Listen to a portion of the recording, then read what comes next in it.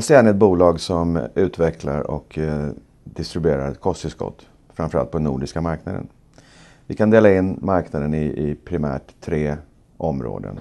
Första är viktminskning, där vi har produkter som kur och apetyl framförallt.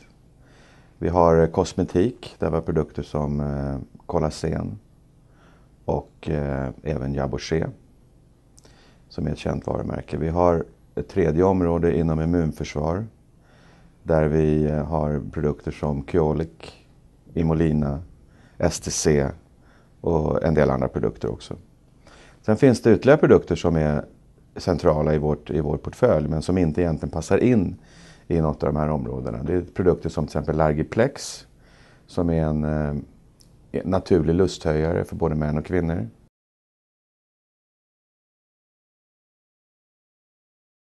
SCN hade under en längre tid letat efter bolag som skulle passa in eh, upp, som potentiella uppköpskandidater. Och diskussionen med Dekanod pågick i två år innan det till slut blev, blev en affär. Och här har vi ett bolag som är livskraftigt, har ett antal väldigt starka produkter, starka varumärken. Namnet är väldigt eh, känt i marknaden hos distributörer och så vidare. Och man hade en bra plan framåt, även i sin egen rätt. Och vi ser att eh, med tillsammans så kan vi göra mycket mer än vad vi, skulle kunna göra var och en för sig. Till exempel nu så har vi redan slagit ihop organisationerna till en. Eh, vi har eh, identifierat produktchefer till även SCNs produkter så vi har fusionerat in produkterna nu i en och samma organisation. Vi har gemensam lagerhållning. Vi har gemensamma distributörer. Vi har även utökat distributionsnätet eh, tillsammans. Så att det finns mycket synergier här att, att, hitta och det har vi redan gjort på ett halvår, på det halvår som, som, som har gått sedan vi köpte.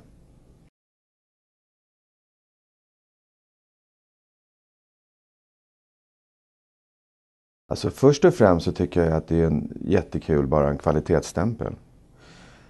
Och eh, det är ju Medica Nord framförallt som, som står bakom det här eh, priset. Och vad det, vad det, visar helt enkelt är att vi har ett jättebra team där ute som, som jobbar långsiktigt och seriöst med distributörerna. Det ska man komma ihåg att de har alltså över 100, fler än 100 distributörer. Och då har vi blivit utsett till den bästa. Alltså utmärkelsen visar ju dessutom att det är inte bara människorna som har varit duktiga utan det måste ju också till bra produkter. Och det bevisar ju också att, då att vi har ett antal bra produkter som säljer väldigt bra. Jag tror också att den här utmärkelsen kommer att få en positiv effekt både på kort och lång sikt vad gäller försäljning av våra produkter inom hälsofackhandeln.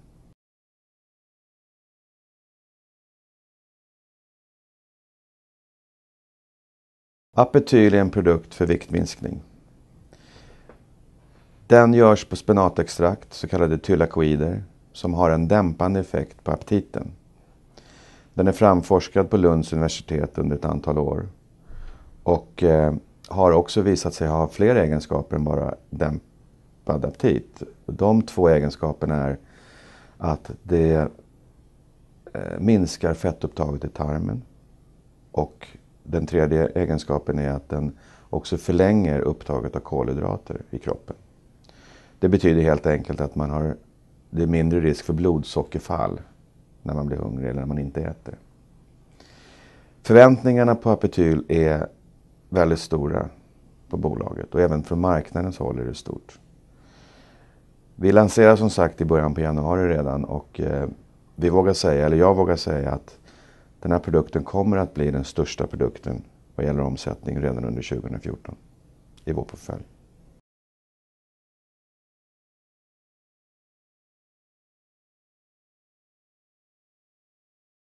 Det ställer högre krav på oss, men det kommer också, tror jag, påverka oss mer positivt än kanske för andra företag. Därför att vi har så pass många produkter nu som har väldigt bra grundligt, grundligt gjorda kliniska studier. Och det är ju det centrala för ett EFSA-godkännande. Så vi tror att eh, det kan skapa möjligheter för oss helt enkelt.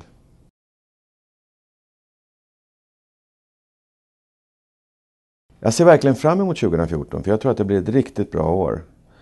Ska man räkna, ska man räkna upp tre möjligheter som vi har som jag tror kommer påverka oss väldigt mycket så är det självklart apetyllanseringen i januari. Vi har också andra produkter i portföljen som har genomgått vidareutveckling och som kommer i nya versioner. Jabushé, Niposin och så vidare som också visar ökad försäljning. Och det tredje är, eh, som jag har pratat om tidigare, möjligheten till nya förvärv. En utmaning som vi har är att vi har ett stort antal varumärken. Och det finns en risk för att vi behöver titta närmare på sådana varumärken som inte säljer så oerhört bra. Och de kan vi komma behöva fasa ut. En eller ett par, tre stycken kanske. Eventuellt avyttra varumärkena till, till någon annan i marknaden. Det är en utmaning som vi har. En annan utmaning är ju strategin att fortsätta förvärva bolag. Varje förvärv i sig är ju en utmaning. Det finns många olika aspekter som ska passa in. Till exempel produkten, marknaden, organisationen och sen självklart priset.